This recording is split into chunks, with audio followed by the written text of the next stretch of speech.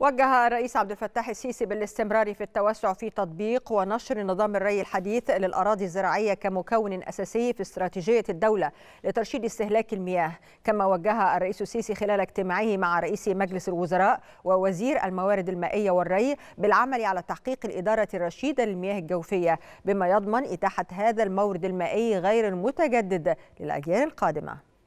اجتمع السيد الرئيس عبد الفتاح السيسي مع الدكتور مصطفى مدبولي رئيس مجلس الوزراء والدكتور محمد عبد العاطي وزير الموارد المائية والري. وصرح المتحدث الرسمي باسم رئاسة الجمهورية بأن الاجتماع تناول متابعة مشروعات وزارة الري على مستوى الجمهورية وقد تم عرض الموقف المائي بوجه عام على مستوى الجمهورية والاحتياجات المائية وتوفيرها للمشروعات الزراعية ومياه الشرب فضلا عن موقف عدد من المشروعات الجاري تنفيذها خاصة مشروعات تدعيم المنشآت المائية إلى جانب مشروعات حماية وتطوير الشواطئ. كما استعرض الدكتور محمد عبد العاطي جهود التحول لمنظومة الري الحديث فضلا عن مستجدات المشروع القومي لتبطين الترع على مستوى الجمهورية بإجمالي طول 20 ألف كيلومتر بالإضافة إلى جهود حوكمة استخدام المياه الجوفية خاصة من خلال التحديث المستمر لقواعد البيانات للآبار الجوفية لمتابعة التغير في مناسيب ونوعية المياه الجوفية.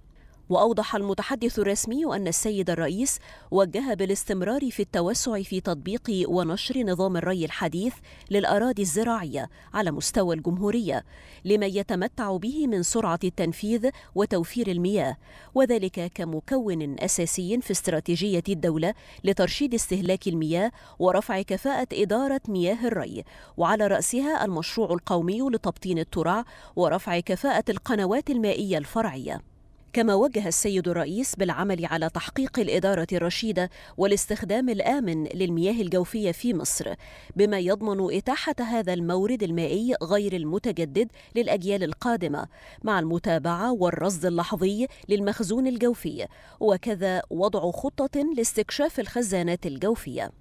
وأضاف المتحدث الرسمي أن السيد وزير الري عرض جهود الوزارة في مجال التحول الرقمي وموقف تطبيقات الرقمنة في إدارة المياه وذلك في إطار رؤية مصر 2030 وما تضمنته من التوجه نحو التحول الرقمي في أداء أجهزة ومؤسسات الدولة. كما تم عرض جهود التعاون مع الدول الأفريقية الشقيقة في مجال الري لا سيما دول حوض النيل حيث تحرص مصر على المستوى الثنائي على توفير الدعم الفني لها في هذا الصدد خاصة من خلال حفر آبار المياه الجوفية وتطوير المجاري المائية وتجهيز المراكز المتخصصة للتنبؤ بالأمطار وتأهيل الموانئ وتدريب العديد من الكوادر الفنية المحلية. كما تم في هذا الإطار استعراض التقدم المحرز على صعيد تنفيذ مشروع ربط بحيرة فيكتوريا بالبحر المتوسط. وضعا في الحسبان ما سيحققه هذا المشروع من تعظيم الاستفادة من الملاحة النهرية وزيادة التبادل التجاري بين الدول الأفريقية. وقد وجه السيد الرئيس بتعزيز الجهود في تنفيذ مشروعات التعاون في مجال الري مع دول حوض النيل بما يساعد على تحقيق التكامل الاقتصادي بينها اخذا في الاعتبار الإمكانات والفرص المتعددة الكامنة لدول الحوض والتي تفتح آفاق التعاون والبناء وتطوير العلاقات المشتركة بينهم.